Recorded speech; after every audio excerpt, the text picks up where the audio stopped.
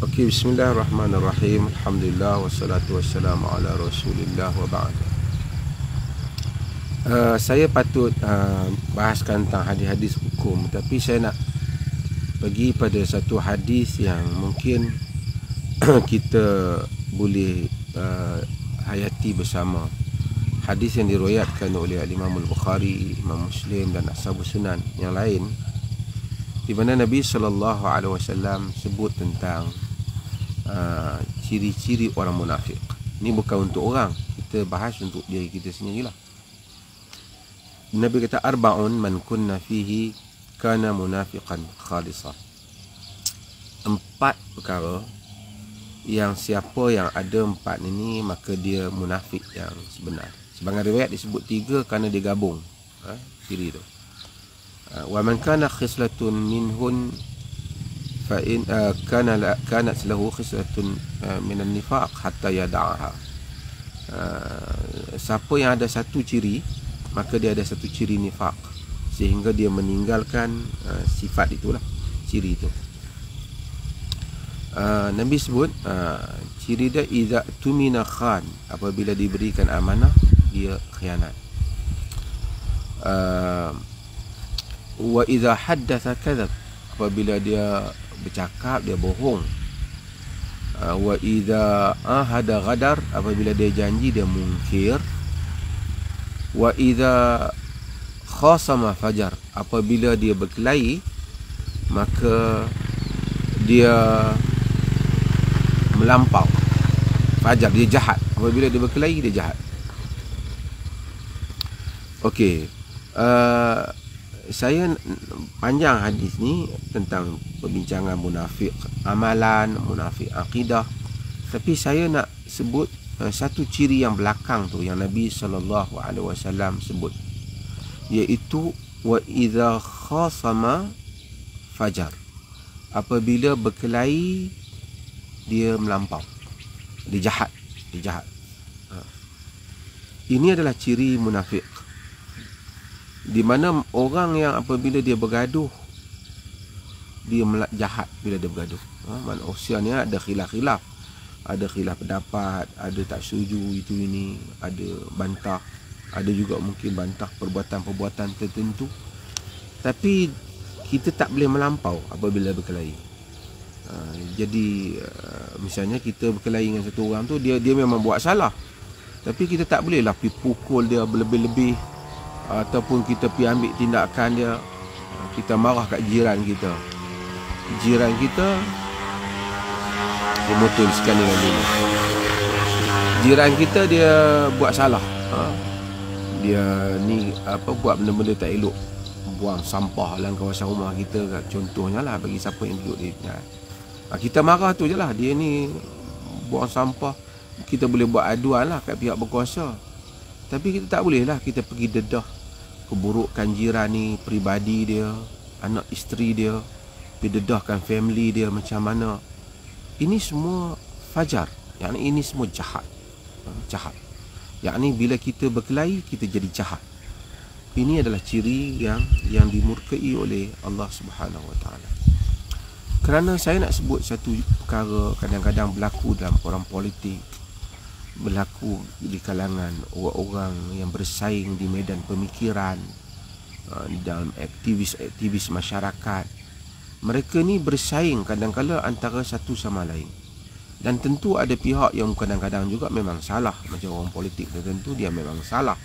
Misalnya ataupun dia memang uh, dia buat tindakan yang salah salah guna salah apa.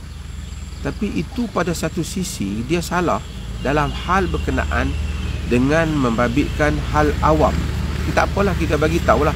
Kita buat aduan, kita buat bantahan kerana perkara itu membabitkan kepentingan awam. Tetapi kita tidak boleh pergi ke perkara-perkara personal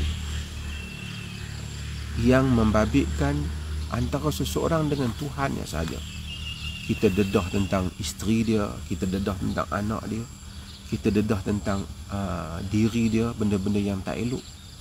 Hal ini dilarang oleh Allah Subhanahu Wa Taala dan dilarang oleh Nabi Sallallahu Alaihi Wasallam. Yang mana kita nak dedah berkaitan dengan soal salah guna kuasa, salah guna dana awam itu tak apa benda membabitkan hal awam tapi hal personal tak mas- tak wajar untuk kita masuk kerana ini dilarang oleh Allah Subhanahu Wa Taala sebab itu agama ni dia benda-benda personal ni walaupun kadang-kadang mungkin benar dia nak menyembunyikannya. Sebab itu Allah Subhanahu wa taala kata dalam Quran tentang orang yang menuduh orang yang berzina. Walladzina yarmuna almuhsanat thumma lam ya'tu bi arba'ati syuhada fajliduhum samanina jaldah. Ha? apa orang-orang yang uh, uh, fajlid uh, orang-orang yang apa?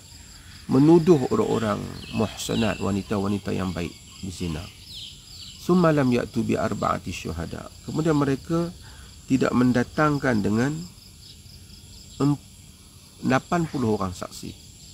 Uh, mereka tidak mendatangkan dengan 4 orang saksi. Fajliduhum samanina jaldah. Maka sebat mereka sebanyak 80 rotan.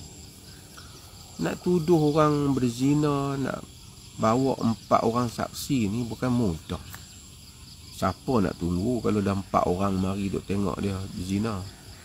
Kena nampak kemaluan masuk dalam lelaki, masuk dalam kemaluan perempuan. Uh, kalau setakat dah tengok bercumbu-cumbuan, berpeluk-pelukan, dah tak boleh buat tuduhan zina. Dia kena sebat boleh buat tuduhan tu. Dia kena tengok berlakunya zina itu. Ha? Kalau tak datang Allah kata fajlidu samanina jaldah. Sebat mereka 80 rotan. Ha. Wala taqbalu lahum syahadatan abada. Jangan terima dah penyaksian mereka selepas daripada itu. Wa ulaika humul fasiqun. Mereka itu orang-orang yang fasik. Padahal macam mana kalau satu orang cakap benar. Memang pun dia tengok tiga orang tengok orang baik-baik. Tapi Allah tak lagi Allah nak empat. Kalau tak diam je. Kau bawa kes tu kau bagi tahu mereka berduaan berpeluk-pelukkan. Kalau hakim nak ambil tindakan. Tapi tuduhan zina tidak boleh dibuat.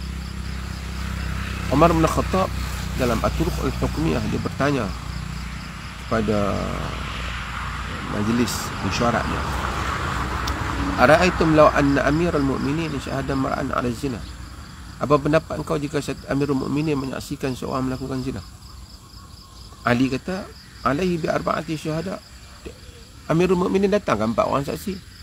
Wa ila ala zahrihi hadzul qadhaf jika tidak kita sebab 80 rotan amirul mu'minin demikian Islam tak suka perkara-perkara yang membabitkan gosip.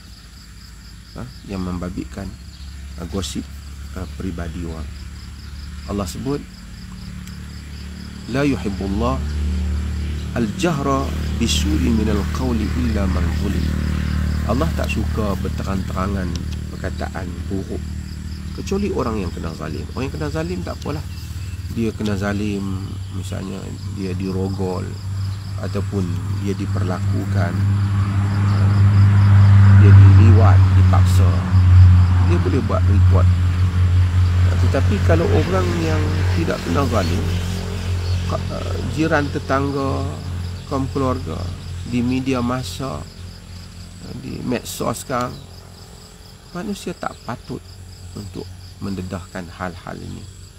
Kerana jika kita dedahkan hal ini walaupun orang tu mungkin jahat sekalipun itu urusan antara dia dengan Tuhan yang mana dia boleh taubat sebenarnya. Kaedah agama man satara musliman satarahullahu yaumal qiyamah. Ahli muslim. Siapa yang siapa yang menutup aib orang muslim Allah tutup aib dia pada hari kiamat. Yakni aib yang membabitkan diri muslim tu tak babitkan urusan negara. Tak babitkan urusan awam. Tak babitkan dengan tipu hadis. Yang itu semua kita kena dedah lah takut orang terkena. Tetapi kalau membabitkan soal personal yang mana antara dia dengan Allah. Sebab itu satu orang lelaki dalam riwayat Imam Muslim dia datang kepada Nabi sallallahu alaihi wasallam. Dia datang kepada Nabi dalam majlis Sayyidina Umar ada orang pun ada. Dia kata ya Rasulullah alastu mra'atan fi aqsal Madinah wa asabtum minha duna an amassaha?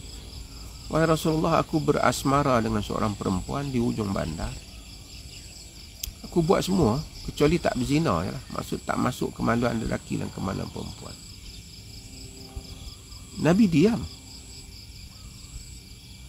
Nabi diam. Sayyidina Umar jawab. Sayyidina Umar kata, Laqad satarakallah, lau satarta nafsak. Allah telah tutup aibmu. Mengapa kau tidak tutup aibmu? Jadi laki ni tengok macam tu Nabi tak respon Omar kata macam tu Laki ni pun pergi Dan Nabi suruh turun wahyu Nabi suruh panggil dia Dia datang dia Allah Nabi baca firman Allah Aqimis salata nahari Wa zulafan minal layl Innal hasanat Yudhibna sayyat Zalika dhikra Dirikanlah salat antara dua tebing siang dan bahagian-bahagian pada waktu malam. Sesungguhnya kebaikan itu memadamkan kejahatan. Itu adalah peringatan bagi orang-orang yang mau mengingati. Jadi dia Nabi suruh dia salat supaya memadamkan dosa dia berasmara tadi dengan perempuan. Sahabat tengok, "Ai. Hadza lahu khassah ya Rasulullah." Ini untuk dia saja ke? Nabi kata, ha? balil nasi ammah, bahkan untuk semua orang juga. Ha? Bahkan untuk semua orang. Maka dengan itu kita dalam hidup ni semua orang ada buat salah dan semua orang akan ada buat silap. Tapi kita jangan campuri kawan tu kaki minum arak misalnya. Tak payahlah lu cerita ke orang dia kaki minum arak. Kalau kau nak tegur Kau pergi tegur dia terus. Orang tu kaki judi umpamanya. Tak payah cerita orang dia judi. Nak tegur tegur dia terus. Bagi tahu dia. Ini urusan Urusan yang membabitkan Hak ehwal Individu. Nampak kereta api belakang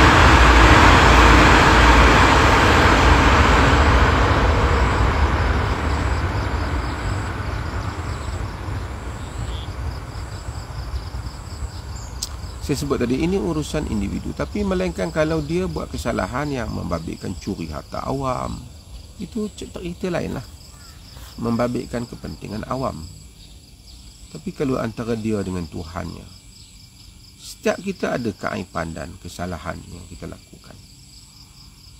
Kiran kita kita marah kat dia. Macam saya kata tadi tak payahlah kita nak bangkit bagi tahu jiran sebelah.